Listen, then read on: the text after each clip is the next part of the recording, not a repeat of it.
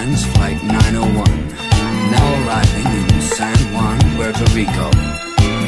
The white zone is for loading and unloading.